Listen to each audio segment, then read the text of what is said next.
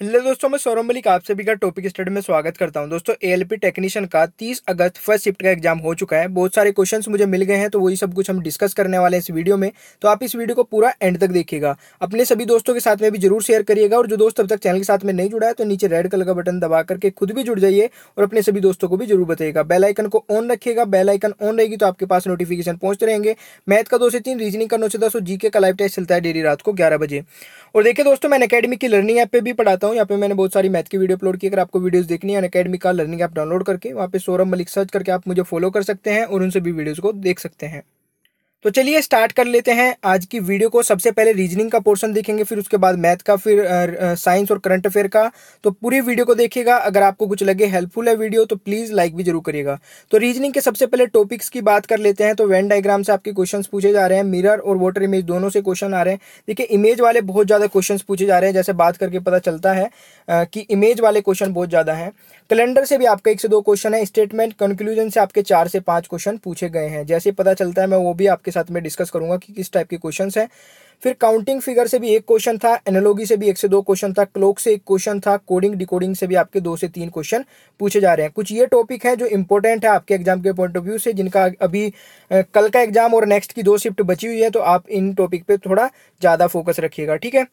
देखिए, एक क्वेश्चन मुझे पता चला है श्लोक का आपका श्लोगिज्म का तो इसको कैसे करना है? बहुत ही आसान है, वैसे सभी कर लेंगे आप। सम रिंग आर राइस तो सम रिंग आर राइस है तो इसका मतलब आपने रिंग को एक गोला बनाया, एक डायग्राम बनाया वेन डायग्राम उसमें हल्का सा कट लगा के रिंग वाला बना दिया। तो ये बन गया सम रिंग आर राइस ठीक है? फिर यहाँ पे बोला ओल पटेटो आर राइस तो ओल पटेटो राइस है तो इसका मतलब राइस के ही आपके जो गोला है उसमें कवर हो जाएगा पटेटो यानी कि पूरा अंदर रहेगा। तो ओल पटेटो आर राइस ये भी कंप्लीट हो गया आपका। तो यहाँ पे बोला क्या गया है? कंक्लूजन में आपका ओल राइस आर पटेटो। तो ओल राइस पटेटो तो नहीं हो सकता है। ओल राइस आर पटेटो कब हो सकता था? जब आपका राइस जो था, वो कंप्लीटली कवर किया जाता पटेटो से। तो ओल्ड राइस आर पटेटो इस वाली कंडीशन में हो सकता था। तो ये तो गलत हो जाएगा, ठीक है? नेक्स्ट आपका है, सम पटेटो आर राइस। तो ओल पटेटो आर राइस है तो सम भी हो जाएगा, ठीक है? तो ये आपका सेकंड वाला राइट हो जाएगा। तो ये तो बहुत ही सिंपल क्वेश्चन था, ठीक है? और जितने भी क्वेश्चंस मिलते रहेंगे, मैं आपको टेलीग्राम में भी शेयर करता रहूँगा। अगर आपने अभी तक टेलीग्राम ज्वाइन नहीं किया है तो लिंक तो आपको नीचे डिस्क्रिप्शन बॉक्स में मिल ही जाएगा। इसकी पीडीएफ भी और जो जितनी भी शिफ्ट के अभी एनालिसिस मैंने किए सभी की पीडीएफ मैंने वहाँ पे अपलोड कर रखी है। तो बहुत से बच्चे बोल रहे हैं कि पीडीएफ कहाँ से मिलेगी? आप टेलीग्राम ज्वाइन कर लीजिए। टेलीग्राम का ऐप डाउनलोड करके टॉपिक स्टडी सर्च करके ज्वाइन कर लीजिएगा, ठीक है? नेक्स्ट एक क्वेश्चन था, देखिए। 22 मार्च को मंडे हो तो 25 मई को क्या होगा? तो यहाँ पे बहुत ही सिंपल सा एक क्वेश्चन है। देखिए 22 मार्च में मार्च में आपके कितने एक्स्ट्रा डेज़ है? नाइन डेज़ हो जाएँगे एक्स्ट्रा फिर आपका अप्रैल में कितने एक्स्ट्रा डेज़ हो जाएँगे? थर्टी डेज़ एक्स्ट्रा हो जाएँगे। फिर मई में आपका कितना? ट्वेंटी फाइव मई तक है तो इसका मतलब ट्वेंटी फाइव ही आपके एक्स्ट्रा डेज़ हो जाएँगे। सभी को प्लस करिए, कितना हो जाएगा? सिक्सटी फोर ठीक है? सिक्सटी फोर को डिवाइड कर दीजिए सेवन से। तो जितना भी आपका रिमेनिंग बचेगा रिमाइंडर बचेगा, वही आपका ऐड कर देना है। यहाँ पे बोला गया है कि 22 मार्च को मंडे है तो मंडे से एक नेक्स्ट क्या होगा? मंडे के बाद ट्यूसडे यही आपका राइट आंसर हो जाएगा। ठीक है? तो बहुत ही सिंपल था ये क्वेश्चन आशा करता हूँ कि आप सभी कर सकते थे। अगर आपने मेरी सारी क्लोक वाली और ये कैलेंडर वाली वीडियोस देख रखी होगी तो आप इजीली इन सभी वीडियो इन सभी क्वेश्चंस को कर सकते हैं। ठीक है?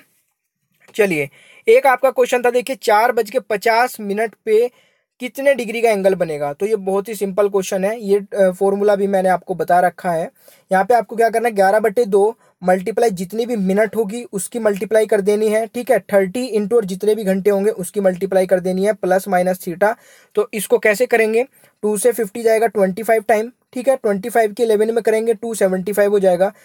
थर्टी की फोर में करेंगे वन ट्वेंटी और प्लस माइनस थीटा थीटा हो जाएगा। इधर जाके माइनस होगा तो 275 में से 120 जाएगा, कितना बचेगा? 155 डिग्री यही आपका राइट आंसर हो जाएगा। यानी कि चार बज के पचास मिनट पे कितने डिग्री का एंगल बनेगा? 155 डिग्री का एंगल बन जाएगा। तो आशा करता हूँ कि आपको ये समझ में आ गया होगा, ठीक है? चलिए नेक्स्ट बात कर लेते हैं मैथ की। मैथ में यहाँ पे आपका सबसे पहला एक क्वेश्चन था इस तरीके से एक्स का बहत्तर परसेंट नब्बे है। इस तरीके से लिखा था तो एक्स की वैल्यू क्या है? तो बहुत ही सिंपल क्वेश्चन हो जाएगा। देखिए, अगर आप एक्स का बहत्तर परसेंट निकालेंगे तो किस तरीके से निकालेंगे? एक्स की multiply seventy two upon hundred कुछ इस तरीके से करेंगे। तो बिल्कुल सिंपल ऐसे ही करना है। एक्स को इधर रखिए, इनकी इधर कर लीजिए क्रॉस मल्टीप्लाई तो हंड्रेड इंटू नाइन्टी हो जाएगा, ये इधर मल्टीप्लाई करके और सेवेंटी टू से डिवाइड कर देंगे। ठीक है? भाई, इस तरीके से तो करेंगे? फिर थ्री से इसको कट करेंगे, कितनी बार जाएगा? ट्वेंटी फोर टाइम और ये जाएगा थर्टी टाइम ठीक है? फिर यहाँ पे आपका ये थ्री से फिर चला जाएगा टेन टाइम और ये चला जाएगा एट टाइम तो ये आपका हो जाएगा one thousand divide by eight तो ये आपका राइट आंसर एक सौ पच्चीस आ जाएगा। तो आप इजीली कर सकते थे, बिल्कुल भी हार्ड क्वेश्चन नहीं था ये तो। ठीक है? एक क्वेश्चन था आपका एलसीएम का। मैथ में एलसीएम में पूछा था थ्री थर्टी सेवन और ट्रिपल वन यानी कि आपका 111 और 148 का एल्शियम पूछा गया था। अभी एल्शियम की मैंने बहुत अच्छी अच्छी ट्रिक आपको बता रखी है। अगर इसकी बात की जाए देखिए, अगर किसी बच्चे को ये ट्रिक अभी इस टाइम पे समझ में नहीं आती है, क्योंकि थोड़ा सा ज़्यादा से क्वेश्चन कराने पड़ते हैं किसी भी एक ट्रिक को अच्छे से समझाने के लिए। अभी इस क्वेश्चन में अगर समझ में नहीं आती है तो आप बिल्कुल डायरेक्ट वैसे ही निकाल सकते हैं एल्शियम को जैसे निकालते हैं सभी बच्चे। तो यहाँ पे आप देखिए थर्टी सेवन और एक सौ ग्यारह का एल्शियम अगर हम बात करें, क्या होगा? इन दोनों का एल्शियम तो 111 ही हो जाएगा, क्योंकि थर्टी सेवन थ्री जा कितना होता है? 111 तो इन दोनों का एल्शियम अगर 111 है तो आपको क्या ट्राई करना है? भाई, जो भी एल्शियम 11 का होगा फिर जो भी एल्शियम 11 और इसका होगा, वो 37 का तो हो ही जाएगा। तो बस आपको इन दोनों का एल्शियम निकालना है। इन दोनों का एल्शियम कैसे निकालेंगे? देखिए, ये तो आप 111 का पारा पढ़ना स्टार्ट कर दीजिए। और कोई भी ऐसी संख्या जिसमें इन दोनों को मतलब ये दोनों डिवाइड कर सके उस संख्या को, वो एल्शियम बन जाएगा। तो यहाँ पे 111 की अगर हम फोर में कर दें मल्टीप्लाई कितना हो जाएगा? चार सौ चवालीस और ये एक, ये भी कट जाएगा। एक सौ अड़तालीस से भी कट जाएगा और एक सौ ग्यारह से भी और थर्टी सेवन से भी। तो यही आपका राइट आंसर हो जाएगा। चार सौ चवालीस। ठीक है? आशा करता हूँ कि समझ में आ गया होगा। अगर समझ में नहीं आया तो आप बिल्कुल सिंपली वैसे कर सकते हैं। और अगर अच्छे से समझना है तो एल्शियम वाली वीडियो देख लीजिएगा। बस आपको सर्च करना है यूट्यूब पे तो एल्शियम टॉपिक स्टडी सर्च कर दीजिएगा, आपको वीडियो मिल जाएगी। ठीक है? चलिए नेक्स्ट चलते हैं। देखिए, एक क्वेश्चन था आपका कुछ इस तरीके से। 122 प्लस तीन सौ बहत्तर माइनस तीन डिवाइड बाई एक हज़ार एक सौ सोलह इंटू थ्री सेवेंटी टू तो अगर इस तरीके से आपको दे रखी है कोई संख्या और उसका मान पूछा है कि उसका मान क्या होगा। तो आपको बहुत ही आसानी से इसको कर सकते हैं। देखिए कैसे करना है। One twenty two plus three seventy two और यहाँ पे आपको थ्री को डिवाइड करना है। एक हज़ार एक सौ सोलह से तो इसको माइनस करके डिवाइड कर दीजिए। थ्री डिवाइड बाई एक हज़ार एक सौ सोलह मल्टीप्लाई थ्री सेवेंटी टू। यहाँ पे 372 से 1116 तीन बार चला जाएगा और तीन से ये तीन कट जाएगा। तो अभी क्या हुआ? ये सब कुछ कट चुका है। तो यहाँ पे आपका क्या बचेगा? ये बचेगा। इन दोनों को प्लस कर लीजिए। 493 इज़ द राइट आंसर ठीक है जो भी ये क्वेश्चन मिलेंगे आपको एग्ज़ाम में, इनका मतलब लेवल बहुत ईजी होता है। देखने में हार्ड लगेंगे बट ये कहीं ना कहीं बहुत ईजी कैलकुलेशन होती है इनकी। ठीक है तो इनको ट्राई एक बार ज़रूर कर लिया करें। बिल्कुल छोड़ के नहीं आना है कि एकदम से छोड़ दे देखते कि अब इसमें कौन टाइम वेस्ट करे। फिर नेक्स्ट आपका एक क्वेश्चन था कि ए बी की एज का रेशो प्रजेंट का रेशो यानी कि वन इज़ टू टू है। पाँच वर्ष पहले इनकी एज का रेशो ये था तो पाँच वर्ष बाद एज का रेशो क्या होगा? तो ये भी काफ़ी सिंपल क्वेश्चन है। अगर प्रजेंट में एज का ratio one is to two है तो आपको क्या करना है? देखिए वन की मल्टीप्लाई एक्स में करेंगे तो आपका एक्स ही बन जाएगा। तो यहाँ पे एक्स और टू एक्स यहाँ पे मैं लिख सकता हूँ इनकी एज है प्रजेंट में एक्स और टू एक्स इन दोनों की एज में से अगर मैं फाइव फाइव माइनस कर दूँ, क्योंकि पाँच वर्ष पहले का रेशो मुझे पता है तो ये वन अपॉन थ्री के इक्वल हो जाएगा। भाई, इसके इक्वल हो जाएगा ना, अगर मैं इनकी प्रजेंट एज में से पाँच पाँच वर्ष माइनस कर दूँ तो ए इस एज के रेशो के इक्वल हो जाएगा। तो बस आपको इतना ही करना है, बाकी तो क्रॉस मल्टीप्लाई करते ही खुद ही ये एक्स की वैल्यू निकल के आ जाएगी। तो यहाँ पे इस तरीके से क्रॉस मल्टीप्लाई करेंगे थ्री की इधर करेंगे थ्री एक्स और फाइव में करेंगे तो माइनस फिफ्टीन हो जाएगा। फिर इधर करेंगे टू एक्स माइनस फाइव तो एक्स की वैल्यू आपकी कितनी आ गई है? टेन आ गई है, ठीक है? यहाँ पे आप एक्स की वैल्यू अगर टेन है प्रजेंट में रेशो क्या था? Two one is to two था तो यहाँ पे आप वन इज़ टू टू का मतलब है एक्स और टू एक्स था, ठीक है? तो ए की तो आपके एक्स था तो इसका मतलब ए की एज कितनी हो गई? टेन बी की कितनी हो जाएगी? ट्वेंटी ये कब की है? प्रजेंट एज है ये। तो दोनों में फाइव फाइव प्लस कर दीजिए। तो फाइव फाइव प्लस करें कितना फिफ्टीन और ट्वेंटी फाइव पूछा क्या है कि पाँच साल बाद इनकी एज का रेशो क्या होगा? तो रेशो निकाल लीजिए। पाँच साल बाद की इनकी एज तो हो जाएगी पंद्रह और पच्चीस। तो पाँच ये पंद्रह और पाँच पंजे पच्चीस। तो थ्री इज़ टू फाइव का इनका राइट आंसर आ जाएगा। यानी कि ये हो जाएगा इनकी एज का रेशो पाँच वर्ष बाद। तो आशा करता हूँ कि ये क्वेश्चन भी आपको समझ में आ गया होगा। ठीक है? देखिए दोस्तों आज वो एक बहुत ही सिंपल सा क्वेश्चन पूछा गया है chairman of railway board railway board के चेयरमैन कौन है? अश्विन लोहानी ये आप सभी को पता होगा ठीक है?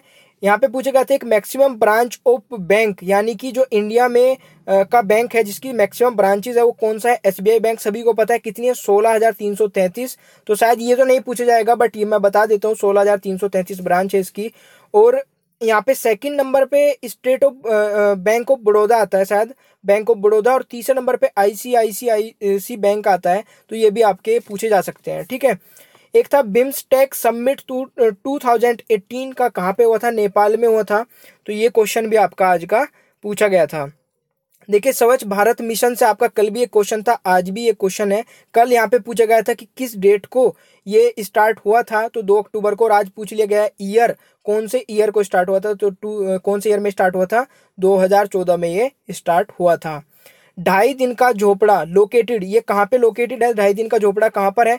अजमेर सिटी में, जो कि राजस्थान में है, ठीक है? और ये किसने बनवाया था? कुतुबुद्दीन ऐबक ने ये बनवाया था। ठीक है भाई, एक है आपका विस्तारा एयरलाइन पार्टनरशिप बिटवीन, यानी कि विस्तारा एयरलाइन जो है, वो किस किस के पार्टनरशिप से बनी है, वो Tata Sons and Singapore airline की पार्टनरशिप से बनी है। ठीक है भाई? आशा करता हूँ कि आपको ये सब कुछ समझ में आ रहा होगा। एक था Murti Devi award. Murti Devi award two thousand seventeen किसको मिला था? जोए गोस्वामी को ये मिला था। ठीक है, चलिए नेक्स्ट चलते हैं। नेक्स्ट आपका एक क्वेश्चन था, Panaji city. Is located on which river तो पणजी जो पणजी सिटी जो है, वो किस रिवर पे लोकेटेड है? मंदा देवी रिवर पे, ठीक है? नेक्स्ट आपका हॉकी इंडिया एसोसिएटेड कुछ एक ऐसा क्वेश्चन था कि हॉकी इंडिया एसोसिएटेड अभी एक्चुअल में क्वेश्चन नहीं पता है। अगर किसी को पता होगा तो कमेंट बॉक्स में आप आंसर बताइए क्वेश्चन बताइएगा।